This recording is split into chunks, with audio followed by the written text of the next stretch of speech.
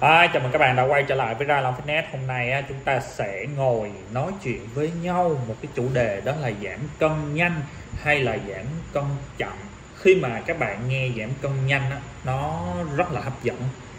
Nó hấp dẫn ở đây á, là ví dụ như bạn muốn giảm cân vì mục tiêu là có thể mặc đồ đẹp à, đi chơi biển mặc đồ size S hay là giảm cân về sức khỏe để cơ thể của chúng ta nhìn thon gọn hơn nè chúng ta khỏe mạnh hơn. Đây là một cái à, quan điểm về tính chất, mang tính chất cá nhân nhiều hơn.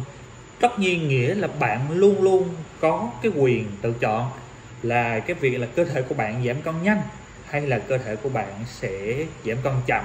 Thì ở góc độ của tôi tôi sẽ chỉ tư vấn và chia sẻ cho bạn những cái lý do, những cái à, khía cạnh của hai cái vấn đề. Nó là giảm cân nhanh thì bạn được và mất gì. Còn giảm cân chậm á, thì bạn được và mất gì. Rồi bây giờ chúng ta sẽ cùng vô chúng ta bàn luận nha. Ở đây á đầu tiên á, là khi mà bạn nghĩ về vấn đề giảm cân nhanh thì cái vấn đề về tâm lý á, là chúng ta sẽ muốn có thật chúng ta thật sự chúng ta rất muốn giảm cân nhanh bây giờ hỏi tất cả mọi người xung quanh ví dụ như cỡ 30 phần trăm dân số trưởng thành ở Việt Nam đang béo phì hoặc là có nguy cơ béo phì tức là 10 người. Bạn hỏi bạn hỏi cỡ 5 đến 6 người. Hầu như ai á, mà nói về việc là giảm cân nhanh bạn cũng sẽ thấy là ai cũng muốn giảm cân nhanh đúng không? Nó giống như việc á, là ai cũng muốn là kiếm tiền nhiều kiếm tiền nhanh hay là giàu nhanh đó là chuyện nó rất là bình thường luôn nó là vấn đề tâm lý của con người ai cũng muốn nhưng mà cái chuyện mà từ giữa việc muốn và cái việc mà chúng ta thực hiện chúng ta hành động nó là một cái sự khác biệt dài và lớn. Rồi khi cơ thể của bạn á bạn uh, giảm cân nghĩa là bạn thay đổi trên cái chỉ số cơ thể của bạn về cái cân nặng khi mà bạn bước lên cái bàn cân đúng không? Giả dụ như bây giờ là bạn cao cỡ 1m60 bạn đang nặng cỡ 60 kg thì cái chỉ số BMI của bạn á nó sẽ rơi vào khoảng tầm à, 23 tới 24 bạn có thể vào web ra Long Fitness để bạn tính. Rồi bạn muốn giảm cân giảm cỡ 10 kg về lý thuyết á là cơ thể của bạn khi mà thay đổi cái mức tiêu thụ calorie nó rơi vào khoảng tầm 7 rưỡi đến 7.700 thì bạn sẽ giảm được một kg tuy nhiên khi á, mà cơ thể của bạn á nó muốn thay đổi được cái vấn đề đó thì nó sẽ cần một cái khoảng thời gian cỡ từ 2 tuần đến 3 tuần để bạn tăng cường vận động nhiều hơn. Bạn cắt giảm cái lượng calorie bạn ăn vào. Giả dụ như bình thường cái à, đồ ăn của bạn, đó, ví dụ như buổi sáng của bạn bạn ăn một cái phần bánh ngọt như thế này.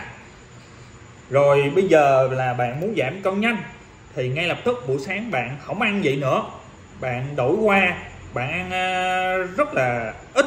Giả dụ như là bạn chỉ ăn một cái phần, một dĩa xôi chút xíu gì. Đó thì cỡ khoảng tầm 2 tuần là bạn có thể giảm được một ký khi mà trên lệch calorie của cái bữa sáng cũng như những cái bữa ăn à, khác. Thì đó là về lý thuyết, về cái mong muốn, cái chúng ta nghĩ trong đầu. Nhưng mà khi chúng ta thực hiện thực tế đầu tiên á, là từ cái ờ, muốn giảm cân nhanh. Thì đôi khi nhanh nó đi kèm với những cái vấn đề là chúng ta phải hơi mạo hiểm một chút. Mạo hiểm là gì? Mạo hiểm là chúng ta sẽ giảm ngay lập tức cái lượng calorie ăn. Từ cái bữa ăn hai cái phần bánh này bánh ngọt bánh ngọt kèm sốt um, hai cái loại nước sốt dâu ờ, này ờ, cộng lại cái phần bánh này nó là khoảng tầm 500 tới 600 calorie. Bây giờ chúng ta muốn giảm cân nhanh chúng ta mạo hiểm đúng không? Mà là mình làm nhanh mà. Mình liều, mình ăn nhiều. Đúng không? Đó, mình giảm cân nhanh thì mình mới có được lợi nhuận là mình, cái cơ thể của mình nó đẹp hơn. Rồi, chúng ta ngay lập tức, chúng ta cắt giảm cái lượng calorie xuống một cái phần ăn, chỉ có nửa phần xôi như thế này. Đó, chúng ta cắt ngay lập tức như thế. Được được không? Được. Có hiệu quả không? Hiệu quả. Rồi, hoặc là thậm chí là bạn ăn ít hơn nữa. Ví dụ như buổi sáng, bạn ăn cỡ nửa củ khoai này thôi nó khoảng tầm trăm mấy calorie à. Đó là cực, cực kỳ mạo hiểm để mà giảm cân nhanh luôn. Cơ thể của bạn sẽ giảm cân rất nhanh. Được không? Được. Nhưng mà tốt không thì ở góc độ chuyên môn về khoa học và dinh dưỡng thể thao của tôi thì chắc chắn tôi sẽ nói với bạn đó là không tốt. Bạn sẽ giảm cân nhanh bạn sẽ giảm cân được. Bạn sẽ ngay lập tức bạn áp dụng cái phương pháp này vô cỡ 2 3 cỡ 5 tới 10 bữa sáng trong vòng 2 tuần, bạn hoàn toàn có thể giảm một ký, thậm chí là cơ thể nó thay đổi, nó biến chuyển về mặt sinh hóa, nó đột biến về mặt sinh hóa một xíu.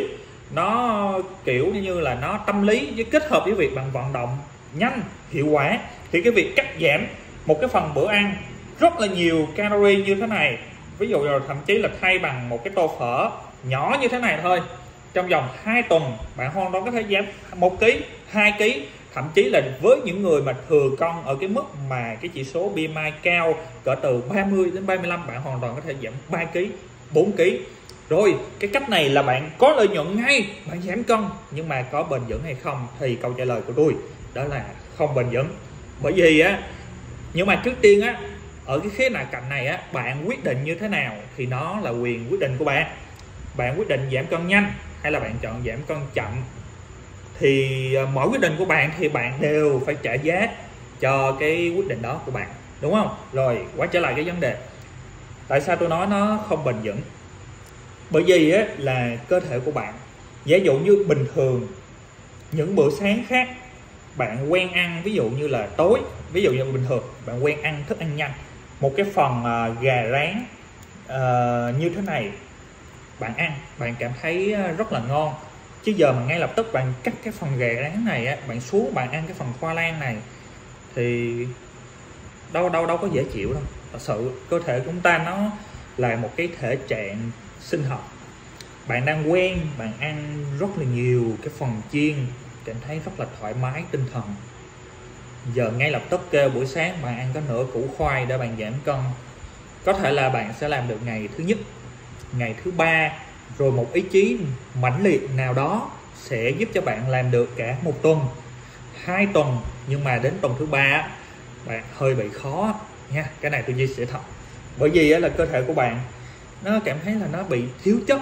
Nó cảm thấy là nó phải khổ ải quá để mà chúng ta thay đổi cái thói quen ăn uống. Thì chúng ta sẽ cần một cái khoảng thời gian, một cái bước đệm nó thay đổi nó xuống xuống xuống từ từ. Ở đây là cái góc độ về nghiên cứu khoa học nha. Bạn sẽ rất khó để ngay lập tức bạn giảm từ một cái phần ăn rất nhiều calorie mà trên trong phần ví dụ trong phần trắng gà là cái lượng mỡ nó đã nhiều hơn cái phần đùi gà. Nó nhiều hơn cái phần thịt ức gà. Mà ăn kèm với sốt mayonnaise thêm uh, cà chua thêm rau xanh.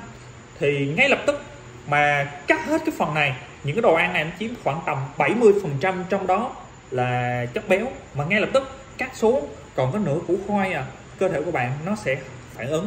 Bạn cảm thấy sẽ tự ỏi, bạn cảm thấy sẽ mệt. Bạn có thể chịu đựng được một tuần, hai tuần. Nhưng mà đến tuần thứ ba, bạn sẽ hỏi, tại sao chúng ta phải khổ sở như vậy?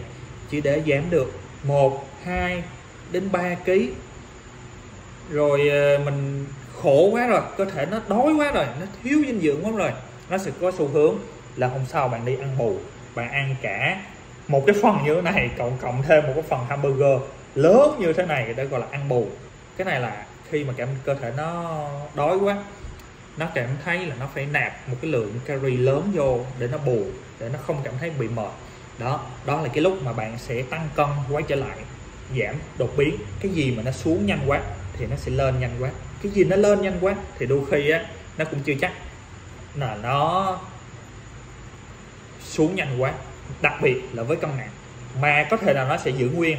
Sau đó bạn tiếp tục cái biểu đồ, bạn cảm thấy là cần giảm cân nhanh, đúng không? Bạn lại giảm xuống một kg nhưng mà bạn cảm thấy căng thẳng quá.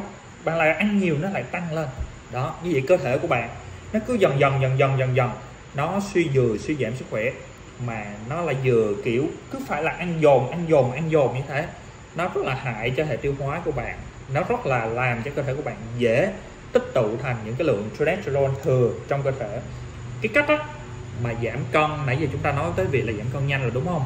Quyết định hay sự lựa chọn luôn nằm ở bạn nha. Tôi chỉ tư, tư vấn cho bạn thôi. Còn giảm cân chậm á nó như thế này. Giảm cân chậm á là không phải chúng ta cắt giảm ngay lập tức cái lượng calorie mà là chúng ta sẽ thay đổi cái thành phần đồ ăn.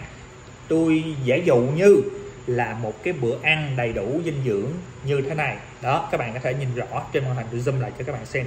Các bạn sẽ thấy một cái bữa ăn ví dụ như ở đây là gà. Tôi kho với rất ít dầu ăn cộng thêm một chút nước tương. Rồi um, có thêm bông cải xanh, có nấm. Chúng ta có đủ vitamin, chúng ta có đủ lượng protein và cái chén ở dưới là cơm.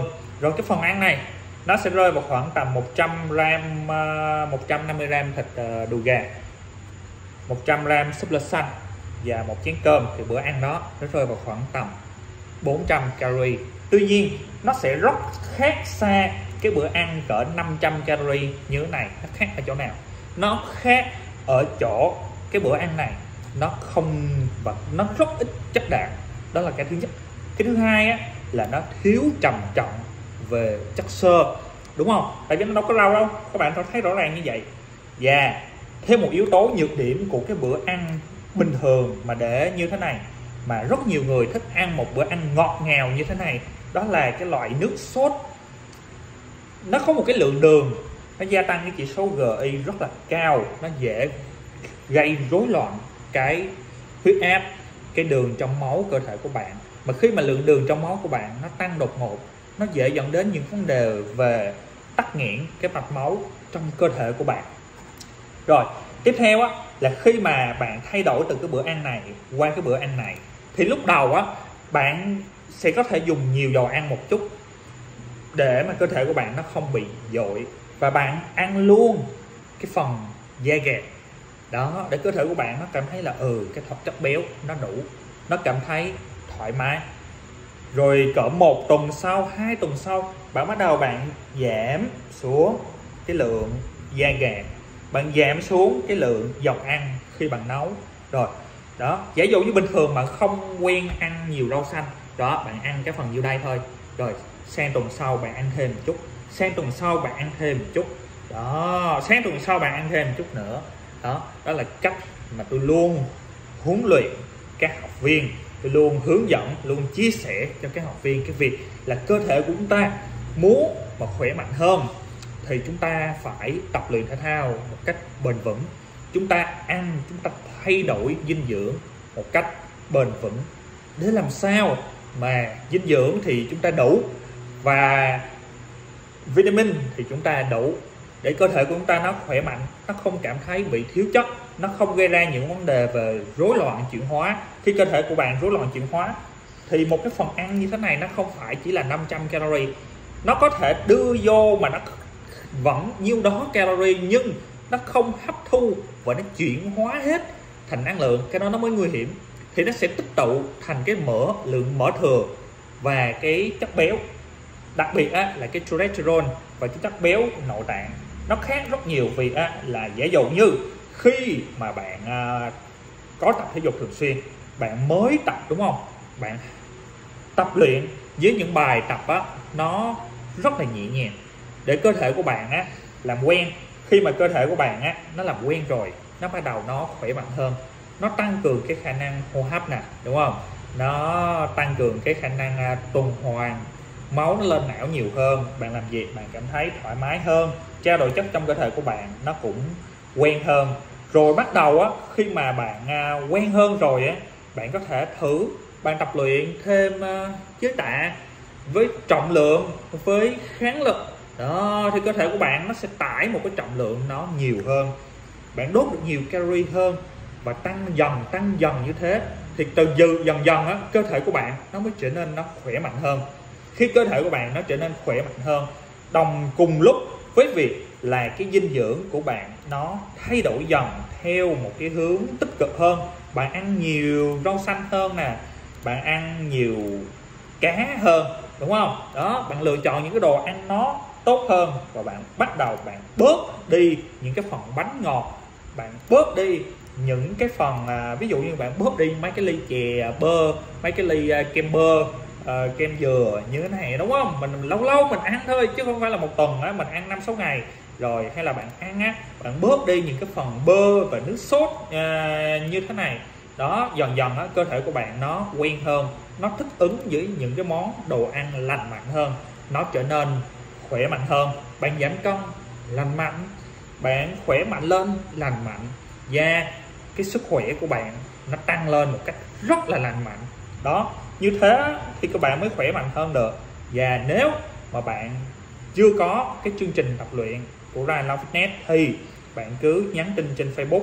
Đó thì tôi sẽ thiết kế cho bạn uh, những cái bài tập những cái lịch tập đơn giản như thế này nó để trên máy tính trên điện thoại cũng như cái việc kiểm soát dinh dưỡng thì tôi sẽ kiểm tra của bạn mỗi ngày đúng không? Rồi mỗi ngày bạn nhấp vô bạn mở cái chương trình lên bạn bấm đồng hồ đó rồi à, bạn tập theo tôi có cái sự kiểm soát rõ ràng thì từ đó cơ thể của bạn nó trở nên nó khỏe mạnh hơn bạn khỏe mạnh hơn dần dần.